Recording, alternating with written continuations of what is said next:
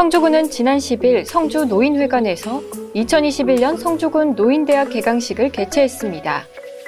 입학생 및 내빈 등 70여 명이 참석한 가운데 코로나19 감염 예방을 위한 발열 체크, 마스크 착용 등 예방수칙 준수하에 운영됐습니다.